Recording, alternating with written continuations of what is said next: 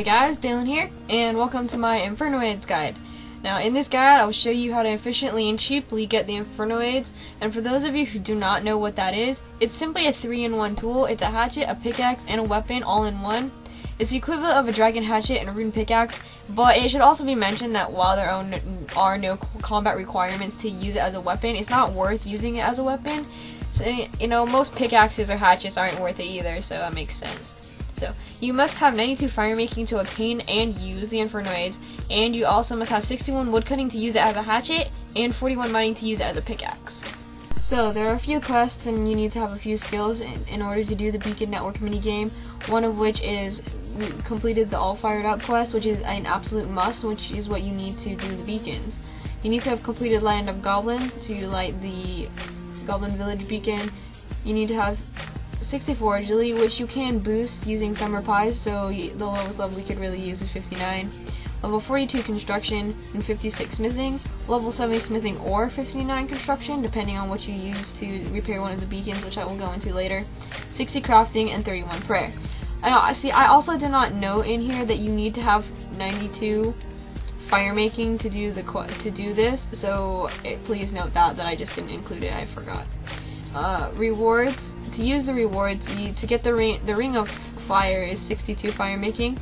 The flame gloves is level 79 fire making, and the Inferno Adze is level 92 fire making. So, so you kind of do need 92 fire making because you need 90, 92 fire making is a requirement to light one of the beacons. So you need to make sure you have that as well if you want to get the Inferno Adze. You know, if not, if you're just going for ring of fire flame gloves, it can be lower, but 92 would be the best way to do it. So, starting out on your run, get the supplies you're basically going to need is 280 logs of any type.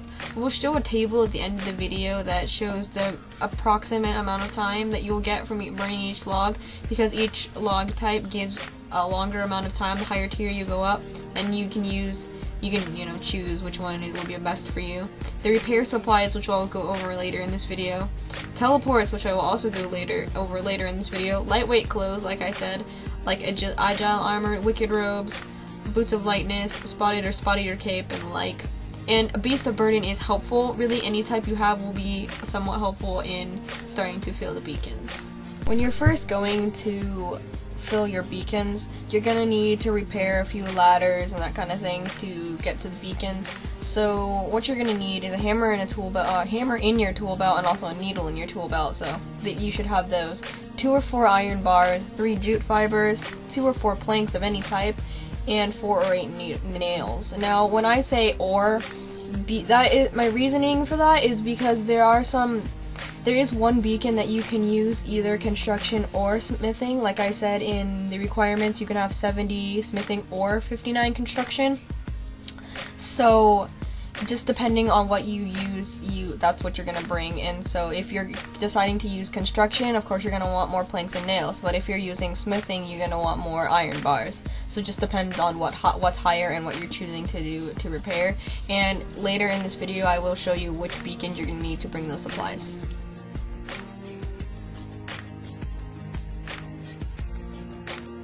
So the following part of this guide will be filling up the beacons and where those beacons are and basically you can fill them up in any order you choose so you don't have to do it exactly in the order that I show here. I'm just simply showing you where the beacons are in this map shown on screen as well as you know just where they are in in relation to that area. So hopefully you'll be you guys will be able to kind of discern where it is. If you guys have any questions where where um, beacons are, you know, you can just ask me in the comments. That's cool. When filling the beacons, what you're gonna want to bring for almost for every beacon is at least 20 logs because that's the minimum you need to fill a beacon, so you have logs left over. But also, if you have to repair something to get to that beacon, you also want to bring those supplies as well. Say for this Burthorpe one, you're going to need to bring two iron bars. And if you're not sure what to bring, you know, just check take a look at my inventory and it'll tell you, and I'll also tell you in this commentary. Um, pretty much, if you're gonna, if you're choosing to use a Beast of Burden, War Tortoise or Pack Yak would be ideal. But I think you can also get away with using a Spirit Terror Bird if you don't have the summoning level for that. Please take note of this God Wars dungeon beacon that you, if your crafting level is not significantly higher than the one required to fix the windbreaker thing here that you're gonna want to bring a restore super restore pot so you can restore your stats because the of the the stat draining effect at the God Wars dungeon entrance. So this the the entire filling of beacons with logs takes much much longer than the actual the actual run itself because just simply because you're filling the beacons and you have to pretty much take a bank trip and all that stuff. So I would recommend either bringing tabs or a toggle zone ring or something that will get you to a bank quickly. You could use the, the lodestone network to like Lunar Isle or whatever, but you can't use that really in above 20 wilderness, so you have to have another, you have to have some other methods. so, let me see. So like I said guys, make sure that you fill all of the beacons before you start your run because if you don't, you're not gonna you're not gonna make it really. And I've had people ask me what kind of logs they should use and it's really a personal choice. I will put at the end of the video a kind of table on the approximate time of burning for each of the beacons so that shouldn't be a problem and you just make a judgment if you if you do it with not many fuck ups you should be able to do it uh, within Maples and still have time to spare. I did my run in about 10 minutes and I messed up a bunch. Like, I'm not lying, I messed up a lot and I thought I didn't make it, but I did. So, yeah. And pretty much also, take note, in this video I didn't receive the Ring of Fire or the Inferno or Inferno Adze, and that's because I already have them, and you can only have one at a time, so that's my that's the reason why I don't have those why I didn't receive them in this video. Now this beacon right here that I that just finished up, basically that's the one that you need either construction or smithing for. So you either need to bring the two bar bars or the planks and nails, depending on what skill you're using to repair the beacon. This one you're just going to need construction, so you bring nails and planks. And that's pretty much all for filling up the beacon. So next up, I'll show you what you need to bring in your inventory and how to do the entire run. Guys, when it comes to gear, what you want to wear during your Inferno Adze run, definitely what I recommend would be any clothing that gives you lightweight, like Agile Armor, Wicked Robes, Boots of Lightness, Spotted or Spottier Cape. Then that's my reasoning, is so you can run longer and that kind of stuff. Make sure that you don't bring anything that you're that you're not willing to lose. Like if you want, if you're gonna use pendants gloves, make sure that you may you just don't want to do that that you don't want to lose, that you don't care about losing them in case there are PKers or something in the wilderness. Usually there are not really, and even if there is, you know, you could always just ask them, I'm doing Inferno Adze run, you know, I don't really have anything on me, and maybe they'll let you go. Um, also would recommend maybe if you want have an enhanced Excalibur with you for healing, make sure that you have your equipped an amulet of glory and a combat bracelet if those are the two methods that you're using to get to Edgeville and the monastery make sure that you basically it's really common sense for me is like just equip any of the teleport items you're gonna use. Make sure you have lightweight gear maybe enhanced excalibur. You can use explorer's ring for the run charges and if you're choosing to use that. And you know any kinds of capes or anything you want to wear. It doesn't really matter. Just make sure it's lightweight and not really heavy and you're willing to lose it if in case you do die so for the inventory that you're gonna want to have, you're gonna pretty much wanna gonna want to have what I have here. Um, you're gonna want to have a Spirit Terror Bird and scrolls if your summoning level allows. If not, you can bring Super Energy Potions. But I would highly recommend having a Spirit Terror Bird as it is much easier. You have food of any type. You know, I brought sharks, but you could easily get away with like monkfish, any kind of that stuff, lobsters even. But you just have to be kind of careful and really the only reason you need food is just for when for the God Wars beacon because you can get you will get hit by the snow and also in case the wolves hit you like they did to me because I was stupid and didn't pray. Um, you're gonna want to have Trollheim tabs or runes depending on if you've completed Love Story or Eadgar's Ruse. And Tr while Trollheim tab, like the Troll Edgar's Original Love Story is not a requirement to finish or to do it, it's very highly recommended as it's the only real way, good way to teleport to Trollheim. Or you could actually have the lunar spell as well, I think. Um, super restore flask or vial because for the when you're lighting the God Wars beacon, like I said, the snow during your stats there. Um, a games necklace is optional in case you do want to use a games necklace to teleport to Burthorpe. Of course, the lodestone works just as well and actually is a tad closer than the games necklace teleport. You're going to want a Goblin Village Sphere, which I will show you how to get in this video. I just happen to have not pictured it in this um, picture and that's really all you really need. There could be a few other things that I've forgotten but this tinderbox also should be in your tool belt just take a note of that as well but it should be in there so that shouldn't be a problem. So basically in this clip I'm going to show you where and how to get the Goblin Village Sphere, which is the easiest way to teleport to the Goblin Village. So basically, just take a Molten Glass and two Lods and go to the Dorgesh-Kaan City and go up into the northwest corner of the city and you'll see a little a goblin and it'll and when you right click it'll say talk to or buy sphere and just go click buy sphere and go to buy goblin village sphere and he'll give you a goblin village sphere and that's the easiest way to get to the goblin village now for the actual Inferno Adze run itself you don't really need to do exactly all of them in the same order that I do, but I do recommend that you start out in the wilderness at the highest level and work your way down. So go to the one by the agility course, the, well the agility course, do that one, and then run south through that gate you see past the ice knights and the portals.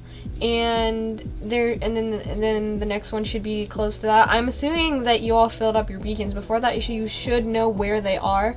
Now i had not done in a run in a long time and so i definitely fucked up a few of my things. But like i didn't summon my spirit terror bird because i'm an idiot. Um so do that. Make sure that you, you if you're using a Spirit Terror Bird, summon it so you don't like mess up like I did.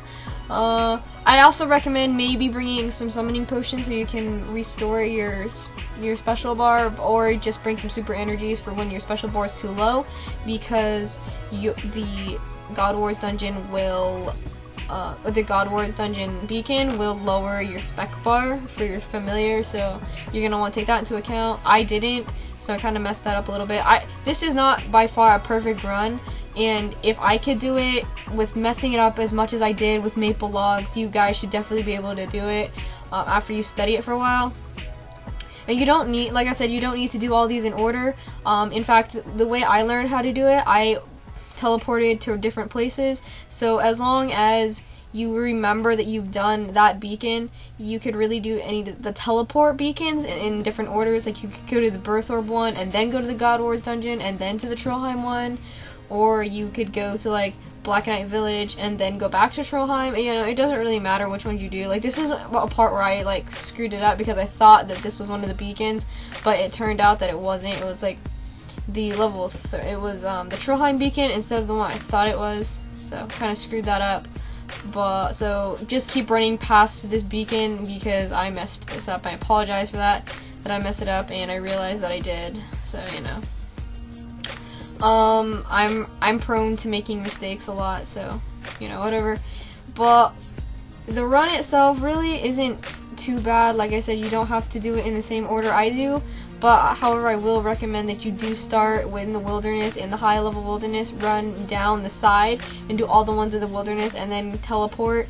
Uh, basically the way that I do it, in or and I was also shown how to do it, or taught how to do it, um, basically you start at the highest level wilderness beacon, you do all the ones in the wilderness um, on the sides, like up the side of the wilderness, and then you teleport to Goblin Village, and you do that beacon, like I'm doing here. And then you could teleport to Trollheim, go to the God Wars Dungeon one, teleport back to Trollheim using runes or tabs, whichever one you're using, and then do the other Trollheim beacon. Then teleport to Burthorpe, do that one, and then teleport to Edgeville Mon to the monastery, do the Black Knight beacon, teleport to Edgeville, do the Edgeville beacon, hop the wilderness, or no, run Oh, well, it'll sh I'll show you also in this video how to do it, but you also then you'll just run across the GE bridge, um, hop the wilderness barrier, light all the beacons across the wilderness barrier, then run to the old the odd old man beacon, light that one, and then go to the patadermis and light that. Now, if you guys couldn't follow what I just said, you know, just watch the video, and that's how I pretty much do it. Like I said, you know, the actual running around and teleporting, you don't really see that. So also just keep in mind that you should know where all these beacons are because you should have filled your beacons previous to this. So I'm expecting you know where these are, but you know, you may have forgotten, you may have filled it. Like I did, I didn't do, I filled my beacons one day and then did the run the next, and I think I kind of little paid for that a little because my brain just like went and I forgot about it, forgot like what I was doing. But anyways, um, this is the part where I got damaged a bunch, and I don't really know why, but I did. So I would recommend keeping on protect from melee the entire time, as I had like I have 99 defense, and I still got hit so much. I think I came close to dying at one point, but I was kind of just stupid here, so I would definitely just um, recommend, you know, putting on protect from melee. Definitely protect from range at these trolls, unless you're 138 combat, where then they won't attack you anymore. But mm, I, I'm assuming that if you're 138, well, I guess I don't, I can't really assume that because some 138 should just do combat and nothing else. But hopefully that you would know that you don't get attacked here, and that you, if you're 138, you know how to do it. But I actually have friends that have 138 and they don't know what the Inferno Adze is, so that was kind of a stereotype, and I apologize for that. Um, yeah, here got a bit damaged, mostly because of these wolves up here, but you know, whatever. This is going to be the beacon that you also drink your super restore potion because this is where the God Wars, of course, uh, drains your stats. And if you don't have high enough um, fire making or whatever to kind of withstand this, you're not you're not gonna do you're not gonna be able to light it. So make sure that you, either you have significantly higher fire making than the beacon requires, or remember to bring a super restore potion or flask, either one. Now, something that I did in my first run and I didn't do on this one was I did the God Wars Dungeon Beacon and then teleported back to Trollheim just so you know it's easier to remember that you've done it. And if you can keep track that you haven't done it yet and just decide to do teleports in different orders, by all means go ahead. Just make sure that you've done all of them because the worst thing that could happen to you pretty much if you, you finished your run at the Pachydermis beacon and then you check and you realize that you haven't done all of them and your time's up and that's just like the worst thing that happened because you go through all the time to light the beacons and then it just ends up that you didn't so it kind of sucks but whatever you know um I would definitely say that getting the Inferno Adze, despite all the effort that you need to put in to do it and honestly it's not really that much effort but I guess it could be to some people. I definitely would say that it's worth doing because, especially if you are tight on cash, because it saves a lot of money if you're doing woodcutting, and it's because it saves you from buying a dragon hatchet. So, and also just gets you good, better fire making XP. No, I did. I did the what the I did. I got 99 fire making before the bonfire update, so I know fire making is much easier. But of course, the Ring of Fire and the Flame Gloves will definitely boost your experience. You know, that's that's cool. Um, there are many different ways to teleport to Edgeville. Just by the way, uh, you could use the Edgeville Lodestone if you want, even. But but I use a Glory just because I had one. But you could also use the Paddewwa teleport, I think. I don't even remember, not even Paddewwa. It's um, one of the Ancients teleports. I'm not exactly sure which one it's called, but you could use that. You could use Edgeville Lodestone. You could teleport to your house and use Mounted Glory. You could use Glory, you know. Either way, it doesn't really matter which way you go. It just needs to make sure that you have a teleport that will get you to Edgeville um, quickly you know, lodestones are cool, but if you're kind of using normal logs, I definitely wouldn't recommend it because it does um, cost game ticks. And of course you want to save as many of those as you can if you're running on like normal logs because those burn less times than I'm using. Of course, for a decent amount of time versus cost, I definitely would say ma maples would be your best bet because maples give you about 13 minutes.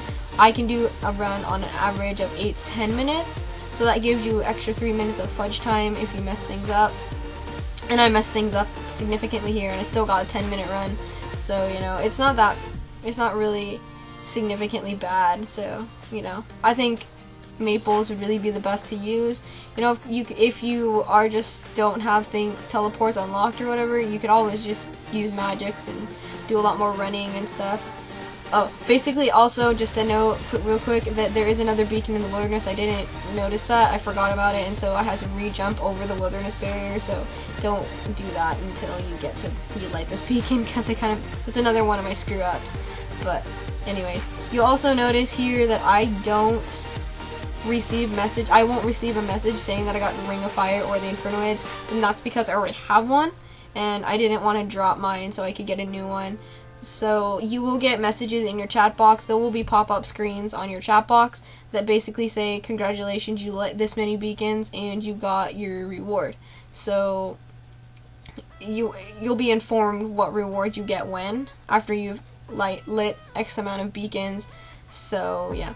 And then basically you just go to King Roland in the Varrock Castle to reclaim your rewards. I don't show that here, but that's really all you do. You just go to the king, King uh, Roland, in, or Ronald, or whatever his name is, in Varrock Castle, talk to him, and say you let the Beacon Network and that you need your rewards. He'll give you rewards, and there you go. Get your Inferno Adze. Congratulations. But, you know, anyways.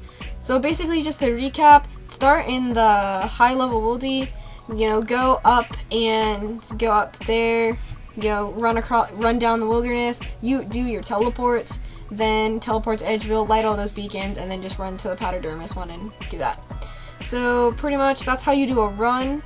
You know, if you don't understand anything, you know, you definitely PM, send me a PM or leave it in the comments. Either way, it doesn't really matter. I will reply to you. So anyways, I will be moving on now to frequently asked questions and all that stuff. So, I'll be right back. What you see on screen right now is the table or the burn rates of each log. This is really quite simple to understand. Basically, regular logs will give you about 13 minutes, oak logs will give you about 13.5, all the way up to magics will give you about 18 minutes.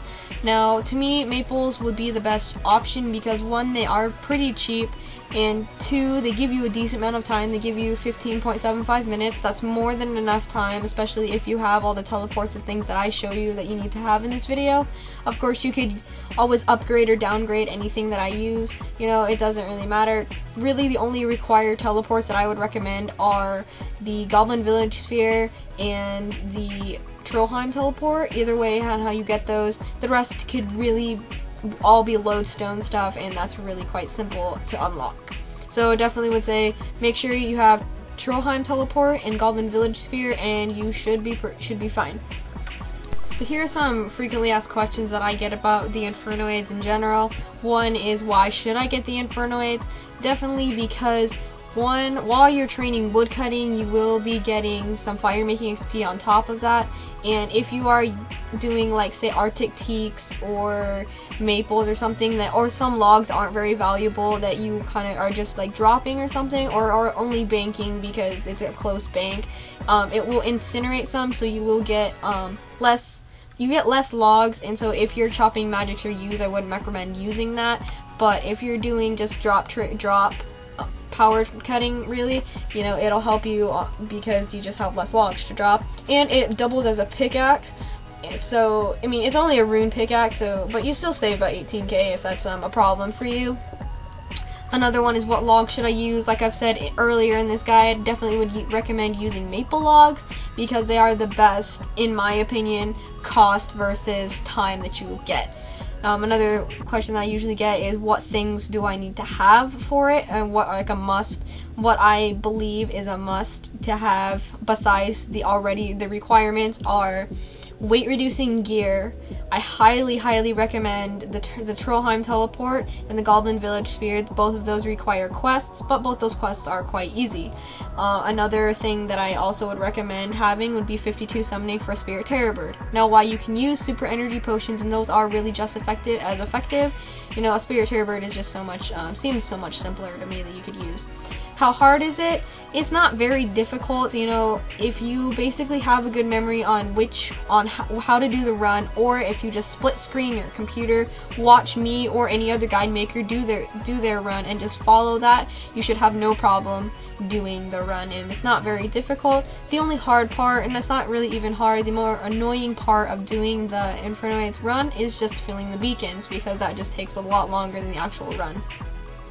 And then the last really important question, not really important, the frequently asked question that I get is are the flame gloves and the ring of fire worth getting? Now, I have people that ask me, they don't have 92 fire making, but they have the required fire making to get the flame gloves and the ring of fire. And they say, is it worth doing the inferno raids that run once to get those rewards so you can use those XP boosting rewards to get the Inferno Adze?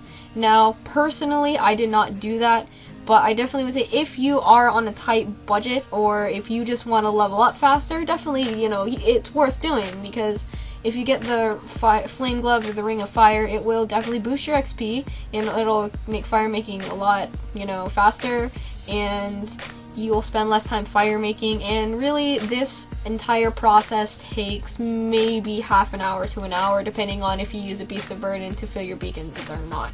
So I definitely would say if you're on a tight budget or if you just want to do this Inferno Adze run, you know, worth doing. You know, it may even be worth it to you to try it out once before you do Inferno so you know you can do all all 14 beacons because the Flame Gloves and the Ring of Fire, you you need to light less beacons for that. So if you want to just do a test run, you know, it would definitely be worth trying out and, you know, you can get your flame gloves and your ring of fire on top of, you know, just having a test run. So there you have it guys, my Inferno Adze guide. I hope you guys enjoyed this guide. If you have definitely any questions, comments, or concerns, you know, just leave them in the comments. I will definitely get back to you.